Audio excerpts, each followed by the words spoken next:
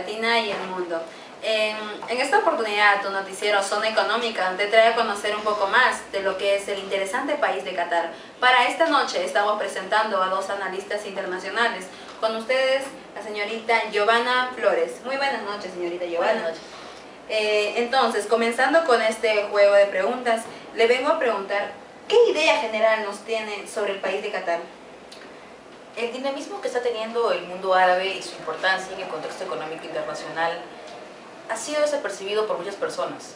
Uno de estos países es Qatar, o también conocido como el diminuto estado que compró el mundo, se encuentra ubicado en el continente asiático. Este país tiene fronteras con Arabia Saudita y con el Golfo Pérsico.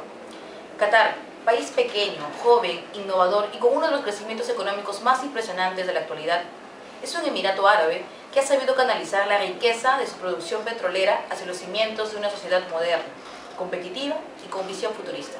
Hace apenas 40 años que goza de independencia, tiene cerca de 2 millones de habitantes y puede presumir cifras que hacen palidecer a países grandes. Por ejemplo, su principal atractivo radica en el alto nivel de renta per cápita por capacidad de compra existente, siendo la tercera más alta del mundo con 102.768 dólares, junto a Noruega y Luxemburgo. Este país árabe encabeza la lista de mayor riqueza por habitante. Esta cantidad es el doble que los estadounidenses. Además, Qatar goza de un elevado índice de desarrollo humano. ¿Qué nos puede comentar sobre el crecimiento que ha tenido este país? Ah, la economía catarí es una de las más pujantes y dinámicas de la región. Desde 2005, Qatar viene experimentando tasas de crecimiento por encima del 8%, las más elevadas de entre todos los países del Consejo de Cooperación del Golfo. Ha multiplicado por 6 el PBI en 6 años y este fuerte crecimiento económico se está produciendo gracias a la explotación de los recursos de gas y petróleo con que cuenta el Emirato, casi un 60% del PBI, y al aumento de la demanda mundial de gas licuado energía primaria de la que se está convirtiendo en uno de los principales proveedores mundiales al contar con las terceras reservas mundiales, seguida por Arabia Saudita y Libia. El PBI de Qatar obtuvo el crecimiento más alto durante años consecutivos hasta 2011 con 18,82%, sigue creciendo pero de manera decreciente, pero se espera que se levante en los próximos años como se ve en la gráfica que les he brindado. El principal sustento de la riqueza qatarí está en el sector energético, con enormes reservas de petróleo y gas, con una tecnología de vanguardia que permite refinar el combustible en forma eficiente y rentable, y con una marcada proyección hacia el mercado internacional. Ha logrado generar ingresos y sobre todo progreso. Eh, usted nos ha comentado ahora sobre esto que es muy interesante y por lo que tengo entendido en el 2022 se está llevando a cabo aquí eh, la Copa Mundial. ¿Cómo va a afectar esto ¿Qué a, a la economía? La reciente designación de Qatar el pasado 2 de diciembre de 2010 como la sede de la Copa del Mundo de Fútbol en el 2022 supondrá una fuerte inversión con el objeto de preparar al país para este evento. Se estima que se invertirá más de 60 mil millones de dólares en los próximos 12 años. Estos trabajos incluyen la remodelación de tres estadios de fútbol y la construcción de nueve estadios hasta 2019, lo cual unido al plan de infraestructuras incluirá la construcción de carreteras, metro y un nuevo aeropuerto. ¿Y qué nos puede usted comentar sobre la parte de la intervención del Estado? ¿Cómo está apoyando esto a lo que es el crecimiento y el desarrollo de la economía? Eh, Qatar está desarrollando una política de diversificación que se centra en cuatro sectores, turismo, transporte, finanzas y comercio. No hace falta señalar que el compromiso de Qatar en lo que se refiere al desarrollo y su visión a ese respecto queda de manifiesto en lo siguiente establecimiento de infraestructuras, diversos servicios públicos y tecnología de la información. También el desarrollo de los recursos naturales, especialmente de los productos y subproductos del petróleo y el gas, con fines de inversión e iniciación de diversas líneas de producción en esas esferas, especialmente en las industrias de gran utilización de gas y los hidrocarburos.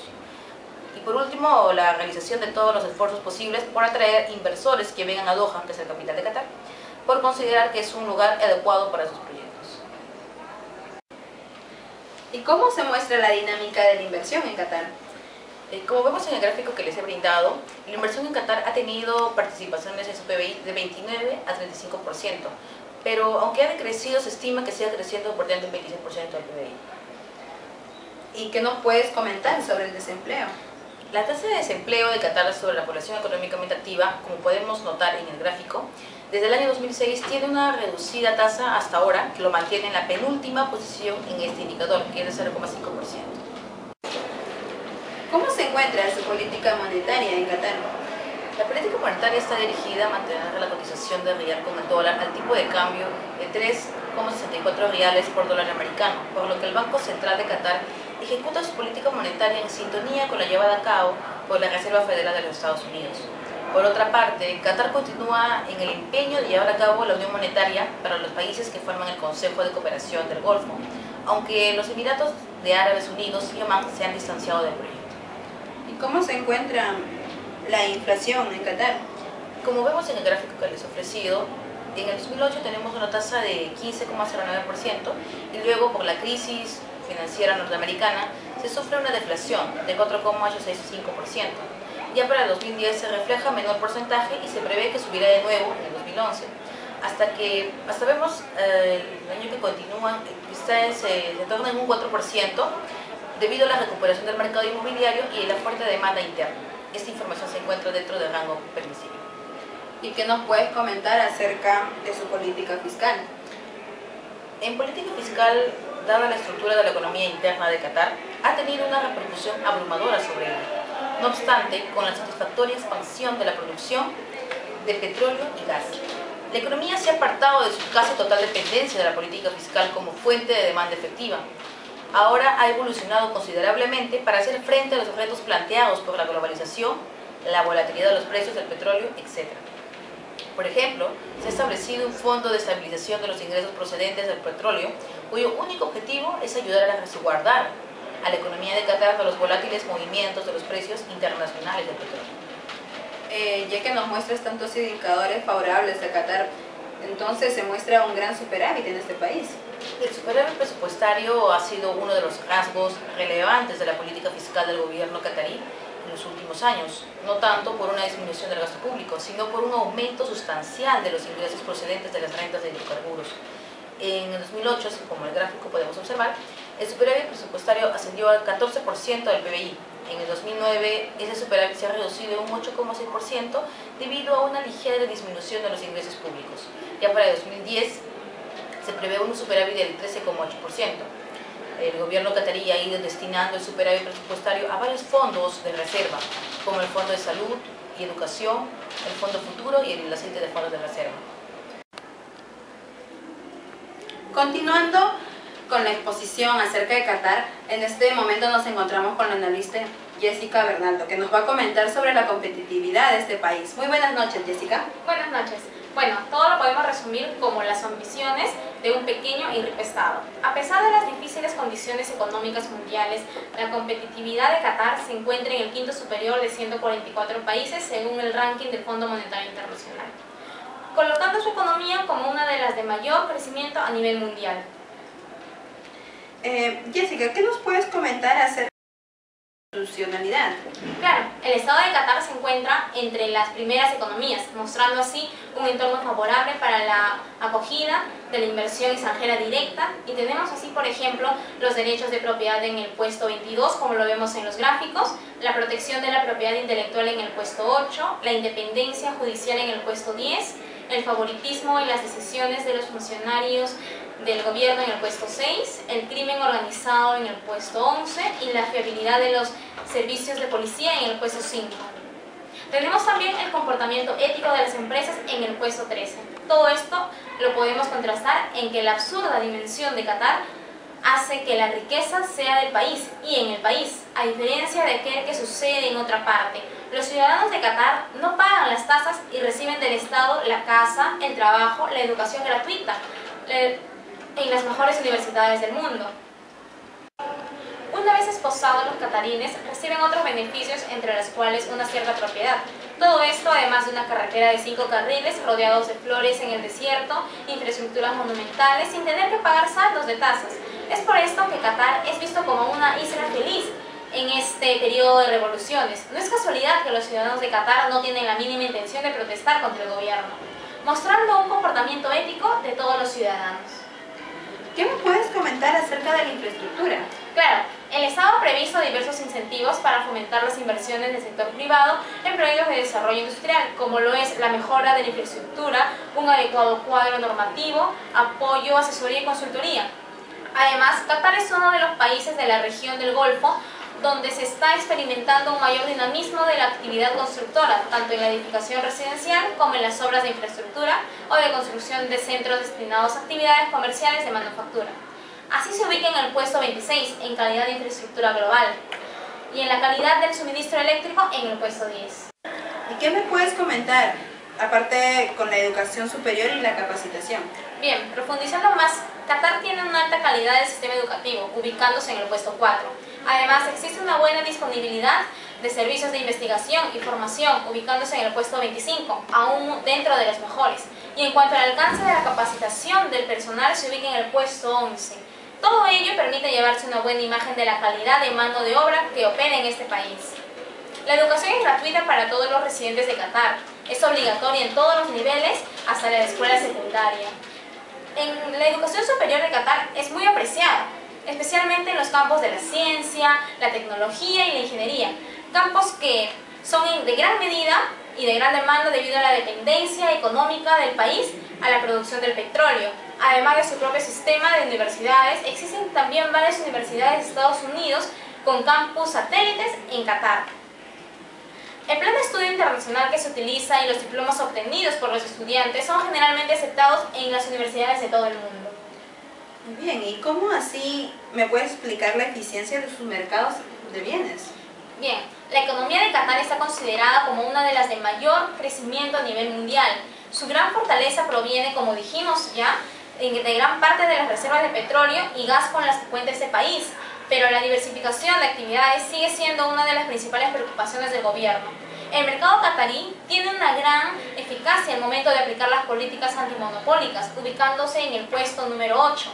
En Qatar no hay, un, no hay un impuesto específico sobre la renta de las personas físicas, incluso las fuentes aseguran la inexistencia de impuestos sobre la renta. Parece indicar ello cierta disparidad, pero sin embargo, la población de origen catarí goza de un amplio abanico de servicios gratuitos. Solo se graban primordialmente las actividades empresariales relacionadas con la ejecución de proyectos. 13. Los derechos arancelarios que recaen sobre las bebidas alcohólicas y el tabaco, en este caso sí son del tipo del 100%. Entonces, ¿qué nos podrías comentar acerca del mercado laboral? Pues tenemos una gran cantidad de fuerza laboral, siendo cubierta en casi su, totalidad, ya que Qatar no presenta desempleo, aunque se realizan pagos de salarios en su forma del saldo del pago mínimo. No hay cifras oficiales de paro y el Estado no, ha emprendido una política de sustitución de extranjeros por nacionales hay en marcha un proceso de catalización cuyo objetivo es transferir población local actualmente empleada en el sector público para pasarlo así al sector privado, teniendo como medio la educación y la formación técnica. Entonces, bueno, muy interesante esto. Ahora quisiera que me comentes lo del sector financiero. Claro, podemos decir que el sector financiero catarí está integrado por el Banco Central, la Qatar Financial Center Authority, las entidades de crédito, empresas de inversión mobiliaria, empresas financieras, aseguradoras y casas de cambio. Las fuentes de financiamiento de los proyectos públicos de Qatar son variadas, como por ejemplo los fondos propios del Estado, los préstamos concedidos por el Qatar Industrial Development Bank, que van directamente hacia las pymes, los préstamos y créditos de entidades de crédito Qatar National Bank, Qatar Islamic Bank, etc. Finalmente, en este ámbito se tiene una gran facilidad para este tipo de accesos crediticios, ya que según el ranking que hemos estado mostrando, se encuentra en el puesto número uno. Entonces, como pregunta final, eh, ¿en qué podríamos invertir los peruanos en Qatar o cómo así nos favorece a nosotros invertir en ese país? Las relaciones peruano-cataríes han adquirido dinamismo a través de los contactos de respectivas cancillerías y el mutuo interés de desarrollar una base jurídica moderna mediante la firma de convenios actualmente en negociación en las áreas de promoción y protección de las inversiones y cooperación en bienes culturales. Al respecto, destacan los productos agroalimentarios, ya que los países árabes son grandes importadores de alimentos y entre los productos locales con mayor oportunidad de incursionar en el mercado árabe están los espárragos, las alcachofas y las frutas, como los mangos y la palta, entre otros. Ya se hizo un primer envío de pisco, llegó la primera semana de septiembre Hay interés y entusiasmo de las personas que viven en Qatar por el pisco peruano y también una gran potencial, hay un gran potencial para aprovecharlo, sobre todo si consideramos que gran parte de nuestra producción se da en contrastación con la de ellos. Las ventajas que, que aporta establecerse en Qatar son su buena situación geográfica, su estabilidad política y su vitalidad económica. A su vez el país posee un régimen comercial muy abierto, con escasas barreras tanto arancelarias como técnicas a los productos procedentes al exterior. La economía qatarí importa prácticamente todo. Tiene una energía abundante y barata, una total libertad de movimiento de capitales y sobre todo una amplia y variada cartera de proyectos en marcha que ofrecen buenas oportunidades de negocio. Los países árabes eh, representan una plaza comercial enorme y donde existe una gran cantidad de oportunidades comerciales por desarrollar, sobre todo en el rubro no tradicional. Entonces así damos por concluido esta exposición acerca de Qatar. Se agradece a los dos analistas internacionales. Y usted, televidente, ya sabe por qué invertir en Qatar, este pequeño gigante económico. Y se agradece a ustedes por su compañía como cada domingo a esta hora en tu zona económica. Gracias.